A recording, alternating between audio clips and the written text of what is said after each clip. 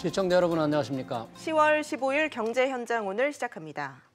집값이 안정화 국면에 접어든 걸까요? 서울 아파트 값이 8주째 0.01% 상승세를 유지했습니다. 아, 서울 강남 집값은 18주 만에 하락 전환했는데요. 문제는 전세값입니다. 68주째 상승세를 이어가고 있기 때문입니다. 네, 전세값 상승에 따른 실수요자의 불만과 또 경우에 따른 내 집 마련 방법까지 살펴보도록 하겠습니다. 시청자 여러분의 의견이나 궁금증들 유튜브 실시간 댓글을 통해서 참여해 주시고요. 오늘 두 분과 함께하겠습니다. 어, 한문도 연세대 정경대학원 겸임교수, 신세돈 숙명여대 명예교수 자리하셨습니다. 어서 오십시오. 네, 안녕하세요. 반갑습니다.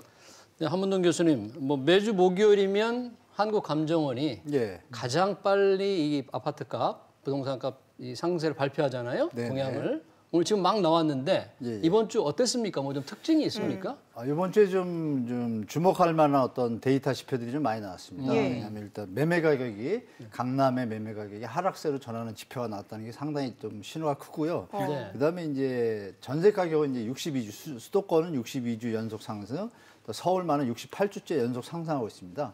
그 부분이 이제 그 세 가지 제가 지금 말씀드린 내용이 사실 오늘 발표한 내용의 핵심이라고 볼 수 있겠습니다. 그렇다면 전세 가격은 상승, 네. 매매 가격은 보합 내지 어, 둔화로 확실히 어떤 선이 그어졌다라고 방향 방향 전환이 이루어진 걸 우리가 9월 추석 전에 전세대라는 예측이 됐지만 매매에 대해서는 보합 안정을 취할 것이다 한 디- 데이터에 대한 지표들이 오늘 발표에서 고스란히 나타났다. 그래서 이게 만약에 10월 말 11월까지 이어진다라면 차후에 나올 어떤 뭐 공급 물량 있지 않습니까? 신도시나 이런 것들과 겹치게 되면은 이제 전세 가격도 시간이 지나면서 좀 안정을 차지 않을까 좀 그렇게 좀 예견하고 있습니다. 어, 지금 강남 집값이 오랜만에 떨어졌다는 이게 강남구 한 구에 해당되는 그것도 마이너스 0.01%잖아요. 그것만 가지고 이게 하락 전환이라고 할 수 있을까요? 어, 왜냐면은 그 거래량이 일단 많이 줄었습니다. 거래량이 음. 많은 상태에서 지금 앵커님께서 말씀 주신 대로 0.0이라고는 그냥 보합으로 표현을 해야 되겠죠. 하락보다는. 네.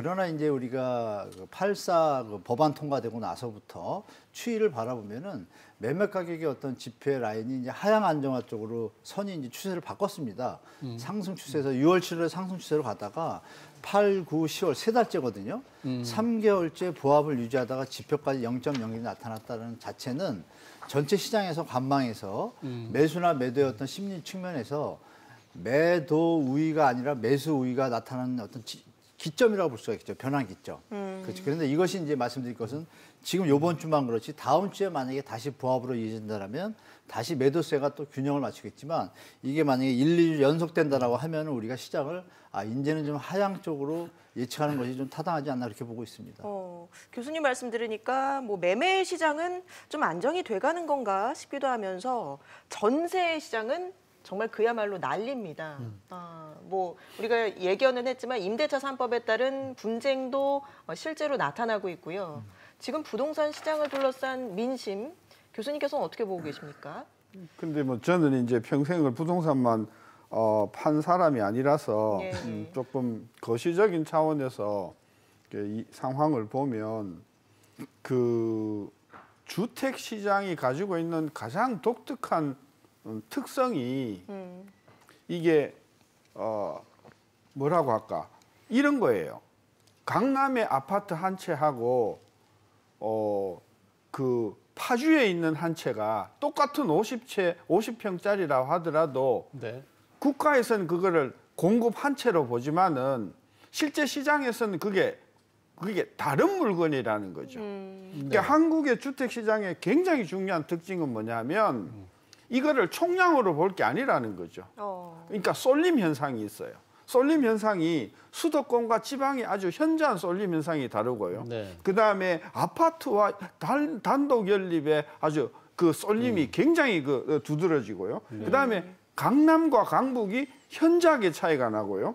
그 다음에 대형과 소형 아파트의 그 성격이 굉장히 틀리거든요. 네. 그래서 이번에 한 주 정도 나온 통계를 가지고 저는 대세를 이야기하는 것은 이것은 어불성설이라고 저는 보는 것이고 통계를 보면은 작년 10월 이게 원인이 뭔지는 우리가 조금 들여다봐야 되겠지만 예. 작년 10월 중심으로 해서 그동안 쭉 증가율이 떨어지던 것이 뭐 주택이 됐든 뭐 아파트가 됐든 전국적으로 떨어지던 것이 갑자기 작년 10월, 11월, 12월을 전후로 해서 이게 뛰, 뛰기 시작하면서 지금 계속해서 한 9개월째 예. 어 그러니까 계속 뛰고 있어요. 어, 네. 그래서 하루에. 예. 뭐 한 주의 움직임을 가지고 저는 운운하는 것은 매우 위험하다. 꼭- 꼭 지적하고 싶고 예.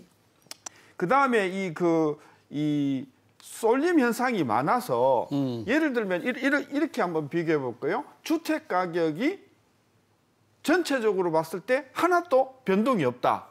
네.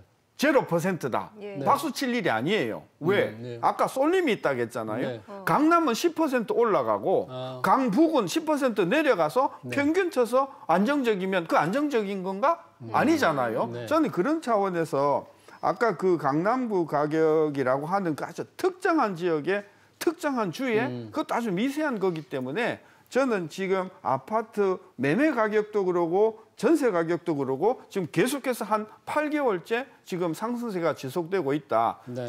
요것만 하나 더 지적하면 음. 주택 가격이 올라가기 시작한 즉 상승세가 빨라지기 시작한 시점은 작년 10월, 11월, 12월 그때인데요. 예. 전세 가격이 뛰기 시작한 것은 전반적으로 그거보다도 한 석 달 뒤예요.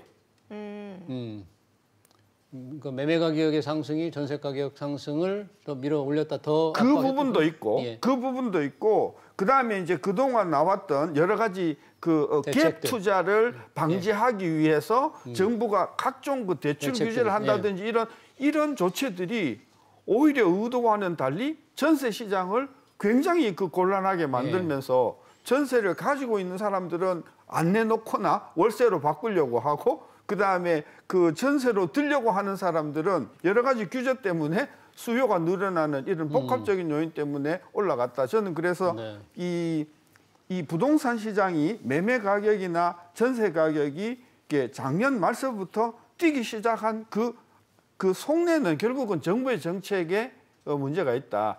그런 결론에 도달하는 거죠. 예, 예. 이렇게 교수님 말씀을 이렇게 좀 요약을 해보면 첫 번째로는 강남구에 이번 주에 나타난 마이너스 0.01%의 하락을 어떤 전체 부동산 가격 안정의 신호로 볼 수 있느냐 없느냐의 문제 볼 수 없다 이렇게 정리하고 두 번째는 전세값은 정부 대책으로 계속 오르고 있다 네. 앞으로도 더 걱정이 되는 건데 하락의 신호로 볼 수 있다 없다 우리 이 소비자들이나 집을 그 이사 가려고 하는 저는 사람들이 보는 게 좀 타당 교수님 볼 수 있다? 말씀하고 좀 다른 의견인데요. 음. 에, 그동안은 그런 현상이 없었잖아요. 중요한 건. 음. 없던 현상이 나타났다는 거는 시장에 변화가 왔다는 얘기죠. 그 점을 일단 신호로 받아들이고 에, 매매 시장은 이렇게 보시면 될 것 같습니다. 일단 거래량이 지금 급감을 했습니다. 예. 우리가 뭐 주식 시장이든 경제에서 기본적인 게 수요 공급 원칙에서 거래가 늘고 수요가 있을 때 시장이 받쳐주는데 지금 거래량을 우리 기억을 더듬으시면 6월, 7월에 패닉방이라는 시절이 있었잖아요. 예, 매매 영끌 해가지고 그 시절에 거래량이 6월 달이 15,000여 건이었고 서울입니다. 서울 이제 아파트 매매 거래량인데요. 6월 달이 15,000건, 7월 달이 1,500건 됐고요. 예. 그리고 이제 발표가 되고 법안이 통과되고 나서 갑자기 줄어서 4,000건대로 줄었습니다. 8월 달에. 어. 9월 달은 또 2,800건으로 줄었어요. 음. 그럼 15,000원권에 비하면은 반에 반에 반토막 수준이에요. 그럼 많이 줄었잖아요. 그러면 시장에서 두 가지 요인이죠. 수요가 억제가 됐고 매물이 늘어났다는 얘기입니다. 실제로 상황이 그래요. 매매, 전세 말고요. 네. 그리고 요번 달이 좀 중요합니다. 왜냐하면 추석 이후에 가족들이 모여가지고 물론 요번엔 코로나 때문에 잘못 네. 만났지만 뭐 전화로 얘기하셨겠죠. 집 살라 그러면 부모님이 도와주든지 말이든지 뭐 상의를 하실 텐데 요번 달이 그러면 그 현상이 나타날 거 아닙니까? 추석 이후로. 어. 지금 10월 이제 반이 다 돼가잖아요. 예. 다 돼가는데 지금 천 건이 안 됩니다. 거래량이 음. 그렇다면 요번 달은 제가 볼 때 천에서 천오백 건에서 멈춘다고 가정을 하면 7월 달 펜징 바잉 시절에 10분의 1 토막이에요. 예. 그 어마어마한 거래량 급감이 그러면 이제 수- 가격의 임계점에 왔다는 것도 우리가 인정을 할 게 작년도 미친 집값이라 그랬고 박근혜 때 또 미친 집값이라 그런 게 아직까지 오르고 있어요. 그러니까 완전히 미친 집값 아니에요. 그럼에도 불구하고 보도에서 미친 집값이다 이거 문제 있다라고 이렇게 이제 비판을 하질 않고 예. 뭐 정부가 세금을 더 얻으려 그런다. 뭐 영끌한다. 자꾸 다른 쪽으로 분산을 시키는 거예요, 시각을. 그러다 보니까 이게 이어왔지만 현재는 거래량이 수반되지 않았다. 그럼 결과는 어떻게 되겠어요? 매도를 하려는 분들이 내년 6월 말까지 매도를 못하면 이 부, 저 양도세 중과가도 되기 때문에 시간이 점점 촉박해집니다. 그러면은 네. 거기다 임대사업자 매물까지 또 등장을 하잖아요. 올해 말로 만료가 되면 내년 안에 팔지 않으면 또 중과입니다. 그게 14만 채예요, 서울에. 네. 그 물건들을 소화할 과연 지금 수요자가 있을까? 수요자들은 삼기 신도시를 기다리는 사람이 많겠죠. 지금 벌어지는 일부 신고가들은 어떤 거냐면 그 라이프 스타일이 많이 바뀌었잖아요. 예. 요즘 젊은이들이 제 딸도 지금 뭐 결혼 얘기를 저랑 하는데 아, 아빠 똘똘한 아파트 아니면 결혼 안 할래 이런 얘기를 그냥 상투적으로 합니다. 어. 그냥 혼자 사는 게 낫지 뭐, 뭐 이런 의식이 좀 변화가 있어요 라이프 스타일이 또 좋은 곳 그러니까 이제 선호 매물이 있고 필수적으로 선택해야 되는 매물이 있는 거예요 그러면 결혼한 분들은 필수적으로 선택을 해야 돼요 또 강남은 희소성이 있기 때문에 그쪽에서의 신고가는 당연히 나오겠죠 왜 수요가 많으니까 아까 교수님 말씀처럼 강남에 국한된 어떤 현상을 우리가 이걸 전부로 보면 안 되겠죠 따로따로 봐야 되는데 정부는 통계상으로 같이 묶다 보니까 혼돈이 좀 오는 예. 거고 그다음에 전세 시장은 당연합니다 왜냐하면 전세 지금 대출 금액의 이자율이 상당히 저렴합니다. 1%대입니다. 1%대. 전세 보증금 대출. 현재 네. 어떤 현상이 벌어지고 있냐면 빌라나 이런 데서 사시던 그 월세 내고 사시던 분들 있잖아요. 예. 뭐 5천에 80 이런 분들이 그 80만 원을 전세 대출을 받으면 3, 4억이 갑자기 돼 버리는 거예요. 돈이 보증금이. 그러니까 이분들이 지금 어떤 현상이 벌어지고 있냐면 젊은 분들이 아파트를 찾아다니는 거예요. 아, 음. 조금 더 보태서 사람답게 살아볼까? 똑같은 월세 내는 것보다 전세로 들어가고 네. 그리고 신도시를 이런 수요들이 생겼습니다 지금. 전세 수요는 계속 늘고. 네네. 거기다가 전세 매물은 또 임대차 3법으로 인해서 또 줄지 않았습니까? 예, 예. 이게 겹쳐지니까 매물은 줄고 수요자는 느니까 전세 가격은 앞으로도 당분간은 상승할 겁니다. 상승하는데 전세 대출이 급증한 금액의 어떤 가이드라인이 정부에서 5억 이하로 맞춰놨기 때문에 정부가 만약에 뭐 전세 대출 이번에 대, 대책에 대해서 한 가지 더 한다, 뭐 전세 대출 강화를 들어간다, 뭐 고가에 대해서 이러면은 전세 가격이 생각보다 빨리 안정될 수 있지만 매물이 부족한 건 확실합니다. 네. 부족한데 중요한 것은 마지막으로 말씀드리겠습니다. 전세 매물이 부족하다고 계속 나오는데 그 부족한 매물들은 좋은 집, 좋은 아파트, 좋은 장소 겁니다. 왜냐하면 제가 아까 데이터 이렇게 한 한 달 반째 지금 체크를 해보고 있는데요. 예. 포털에 나온 매물들을 계속 정리해 보면 전세 매물이 줄지를 않습니다. 총량은.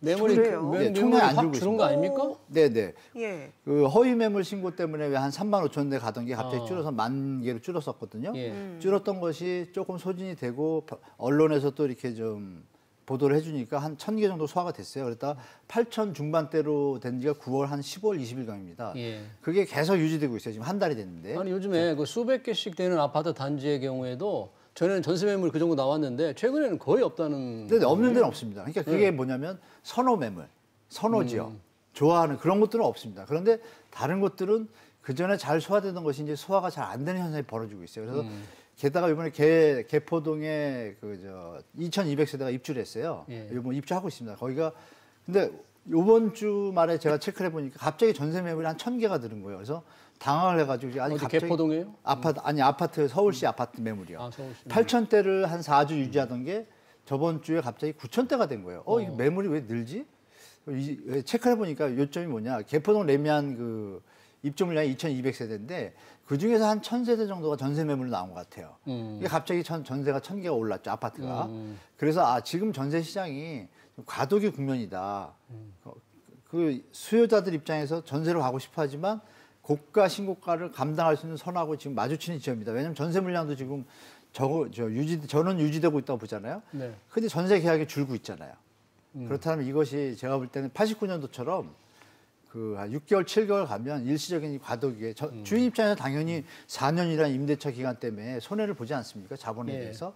그러면 당연히 그것을 세입자한테 전가할 수밖에 없지 않습니까? 그것이 이제 지금 빚어, 빚어지고 있는 현상이고 그것이 시장에서 감내할 수준까지 가고 임계점에 다- 다다르면 이제 안정국면으로 가는데 그 국면을 이제 홍남기 장관이 내년 2월로 받고 저도 짧게는 3개월에서 길게는 7, 8개월이라는데 그렇다고 계산하면 8월 달에 7, 8개월은 내년 4월, 3월 되거든요. 그러니까 저도 한 내년 3, 4월은 좀 안정되지 않을까. 저는 그렇게 좀 시장을 보고 있습니다. 어. 근데 한 교수님이 말씀하신 전세 물량이 매도 물량이 유지되고 있다는 예, 예. 표현을 하셨는데 중요하죠.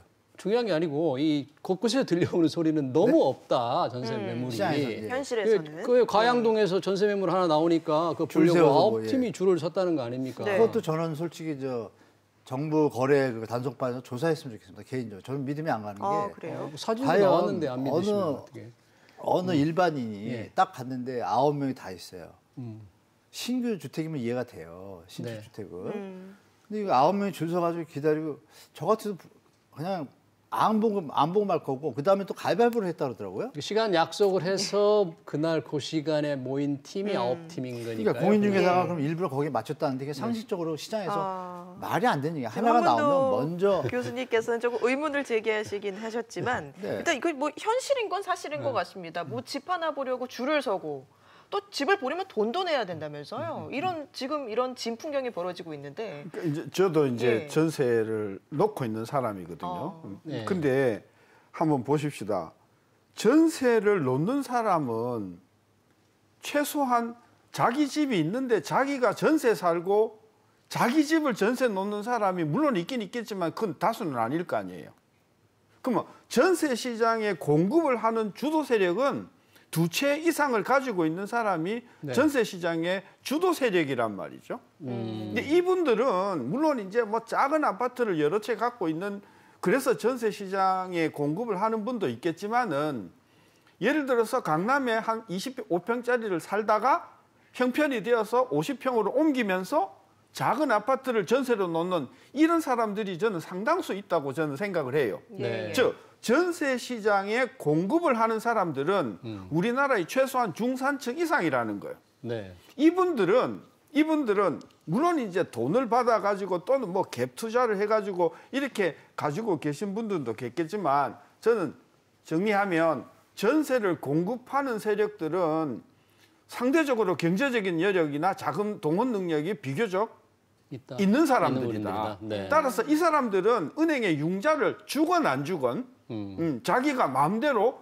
자기의 여분의 주택을 처리할 수 있는 그런 가능성이 있다. 근데 이분들은 결국은 이제 월세 시장으로 전환을 하고 전세금 다 줘버리고 저는 월세 시장으로 전환을 하면서 월세 시장에 대해서 월세에 대한 그 어, 월세를 굉장히 그 이 셀러 주도로 예. 가져갈 가능성이 크기 때문에 월세로 다 바꿔버린다. 거잖아요. 그래서 음. 전세 공급이 준다는 것이 뭐 어떤 장관은 굉장히 바람직한 것이라고 했지만은 네. 이것이 또 다른 월세 시장의 폭등을 초래하면서 음. 월세 시장이 또 월세까지도 가, 가격을 통제하겠다는 그런 발상이 나올 가능성이 크다. 저는 그래서 근본적으로 전세 물량을 안정시키기 위해서는 정부가 생각을 좀 바꾸어서? 전세 공급을 하는 사람에 대해서는 음. 여러 가지 세제 혜택을 준다든지 음. 예. 어. 그래, 그래서 전세 공급이 원활하게 될 수 있도록 네. 그렇게 하려면은 당연히 자금 여력이 있는 사람에게 두 채, 세 채를 보유를 하고 전세를 음. 넣더라도 그리고 그 전세 가격을 정부가 어, 지도하는 어떤 상승률 안에서 유지해 주면 이분들을 정부가 양성하는 차원을 통해서 전세 공급을 늘리는 쪽으로 저는 정책을 바꿔줘야 된다. 오히려 그동안 그렇게 해오던 걸 지금 뒤집는 거잖아요. 뿐만이 이 아니라 정부가. 다주택 자체를 그냥 옥죄버리니까 음. 지금 다주택을 갖고 있는 사람들이 상당히 지금 장고에 들어간 거예요. 이걸 어, 떻게 해야 되는가. 네. 그래서 나오는 게 뭐냐면 손주한테 물려줘 버리자 차라리. 네, 이- 그렇게 이제 음. 그 소유권은 이전하면서 양도소득세나 종부세는 피해가면서 결국은 실질적으로는 동일한 그 어, 주인이니까 음. 네. 그이 임대차 시장에서 음, 큰 주도권을 행사한다. 저는 그런 해석이 가능하다고 봐요. 음. 한 교수님 그러면 전세값이 좀 안정될 수 있을 것으로 이제 좀 조금 보시는 거잖아요. 지금은 아니더라도 시간이 좀 필요합니다. 시간이 필요하다. 네, 그러면 그 홍남기 부총리도 지금 굉장히 공색한 지금 상황에 빠져 있는 것 같아요. 음. 맞습니다. 자기 팔집은 지금 들어올 사람이 못 들어오고 살 사람이 못 들어오고 살고 있는 집은 나가야 되고 네, 맞습니다. 좀 혹시 정확하게 뭐 어떻게 된 사연인지 좀 설명해 주시겠습니까? 예. 뭐 저는 그 홍남기 장관이 임차기간 만료됐고 실거주 하겠다고 본인께서 네. 본인이 자초한 거예요. 우리 저 정부에서 왜냐하면 실거주를 원하는 주, 주인이 들어오시면 네. 집을 내줘야 되지 않습니까? 예. 꼼짝 예, 말고 예. 나가야 되잖아요. 음. 나가야 되는데 기존에 살고 있던 게 6억 3천에 보증금에 살고 있는데 예. 시세가 전세난이 이어지다 보니까 지금 9억대로 올라왔거든요. 음. 어. 그러면 그 나머지 금액을 보충해야 되지 않습니까? 근데 예. 보충을 해도 거기는 못 살아요. 음. 나와서 살아야 되는데 또 마포구에 집이 좀 많이 없어요. 거기가 지금 입지도 좋고 예, 예. 환경이 좋아지다 보니까 집이 많이 없어요. 그러다 보니까 빨리 못 가고 계신데 음. 뭐 전 반전세 가시면 되겠죠. 뭐 크게 어려운 거 아닙니까? 뭐 페이도 뭐 나라에서 돈 받으시니까 반전세 가시면 되고 그분 뭐 걱정할 상황은 아니고 네. 이분은 표현 중에 이런 표현도 하셨어요. 홍남기 장관이 뭐 전세 난으로 인해서 저 젊은이들이 고생하는 것에 대해서 처음에는 뭐 안타깝다고 표현해가지고 제가 좀 모방송을 얘기했습니다. 아니 국민을 대상으로 국민의 녹을 먹는 분이 뭐 제3자처럼 저 동남아 사람 얘기하듯이 뭐 그 사건에 대해서 가- 안타깝다 이런 표현을 쓰는 건 잘못된 거죠. 네. 정말 미안하고 가슴 아파야 되는데 네. 뭐그 얘기를 들었는지 뭐 어제는 다시 가슴 아프다고 얘기하시더라고요. 네. 그러니까 결론은 뭐냐면 주거 교수님도 말씀 주셨지만 그 전세 매물이 많이 나오게 도와줘야 됩니다. 음. 월세에 대해서 월세를 놓으신 분들이 전세 4년이라는 임대차 3법 때문에 월세로 도- 갈 수밖에 없는 상황이에요. 자본 논리 네. 상에서 시장에서는. 그럼 그 부분들이 만약에 전세로 수요가 공급이 좀 된다라면 음. 충분히 시장에서 안정 효과를 누릴 수 있지 않겠습니까? 매물이 나오니까. 그러면 네. 음. 그분들한테 실익을 뭘 줘야 되잖아요, 정부에서. 그럼 정부가 선택할 건 그거예요. 굳이 그거를 월세 소득 그 세금을 거둔 데 목적을 둘 것인지 국민 주거복지 안정을 둘 것인지 초점을 정확히 해야죠. 음. 주거복지 안정에 초점을 준다라면 교수님 말씀대로 주 소유주들의 임대 놓는 여건을 갖다 확실하게 도와주지 않겠습니까? 예. 근데 그런 부분이 좀 부족하다. 그건 저도 교수님 말씀에 동의하고 정부가 몇 달간은 이거 방심하다가는 또 전세난이 또 왜곡 보도도 많지 않습니까? 그러면 예. 국민들 마음 불안하니까 기다리다 기다리다 또 이상한 현상이 벌어지니까 제가 볼 땐 심각하게 고민하고 여러 가지 방안들을 좀 연구해서 방치하지 말고 다시 대책을 좀 정확하게 냈으면 좋겠습니다. 그 저는 그 이게, 이게 통계를 보면 볼수록 예. 그 그 좀 황당하다고 하는 게 말이에요. 감정원 통계 말씀이세요? 예.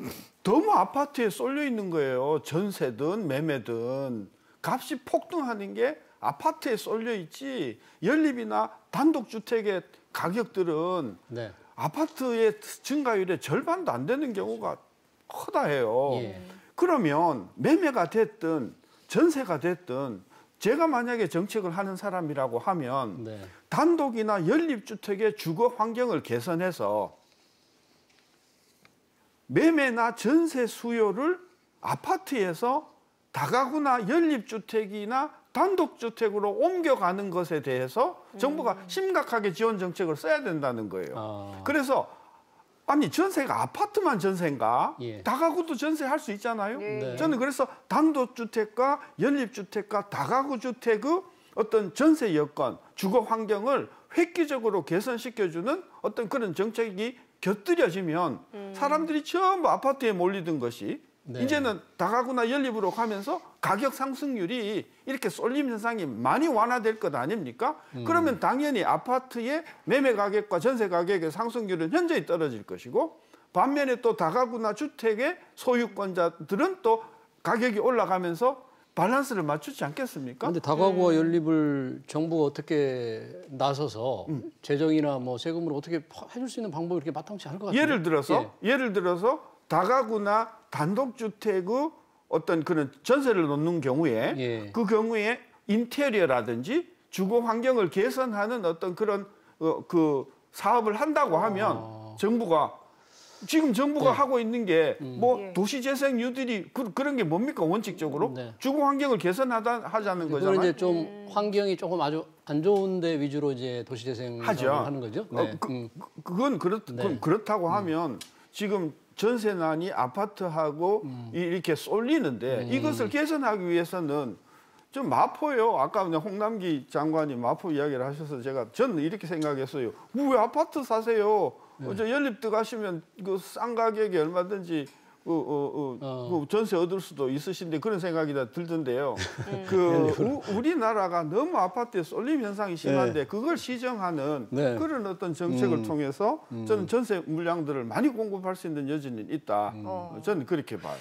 아파트에 쏠려 있는 수요를 뭐 다세대, 빌라 이런 쪽으로 좀 옮길 필요가 있다라는 지적에 대해서 아, 어떻게 정, 보세요? 정확한 지적이십니다. 음. 정확한 지적이시고 음. 그 이미 이제 정부에서 노무현 정부 때부터 이미 그거에 대해서 정책을 해왔는데요. 예. 사, 이 현장에서 실행하는데 지금 시간이 좀 걸린다. 왜냐하면 어. 들어보셨겠지만 자율주택 정비 사업, 가로주택 정비 사업에 대해서 보도가 많이 나왔잖아요. 그게 예. 이제 교수님 말씀 그 내용이에요.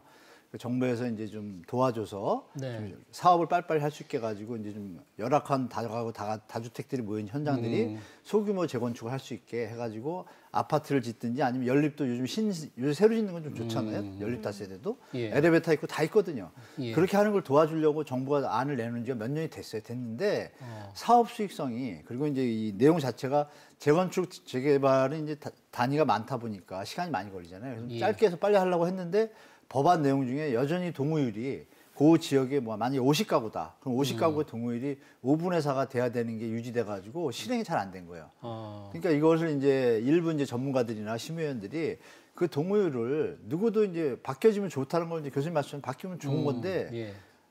개인마다 사정이 다 다르잖아요. 그거를 이제 케어해주거나 도와주는 어떤 디테일한 세부안이 없- 부족해요. 아. 그러다 보니까 사업자가 다 돈을 투입해야 되니까 사업이 잘 진행 안 되고 있습니다. 그나마 이번 달에 제가 알기로는 몇 군데서 지금 가로주택 정비 사업으로 조금 몇백 세대가 나오거든요. 음. 이거를 이제 정부에서 지금 교수님 말씀대로 딱 강력하게 정부에서 어.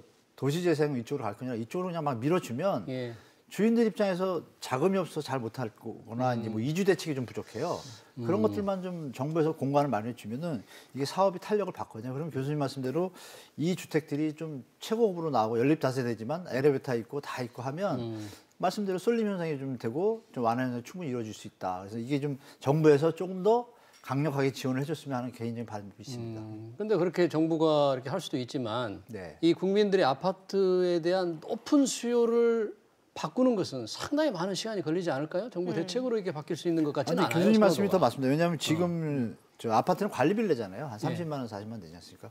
연립다세대 새로 지은 거 강남 쪽에 가보면은 한 5, 5층으로 지어가지고 필로티 놓고 주차장도 다 있죠. 예. 완전히 아파트하고 다른 게 없습니다. 그냥 이름만 연립 다세대죠. 예. 아파트하고 똑같습니다. 그래서 네. 요즘 강남에 이제 신혼부부나 이런 분들은 연립 다세대 신축이 나오면 다 거기 가서 삽니다. 어. 그거 일단 비싸지 않습니까?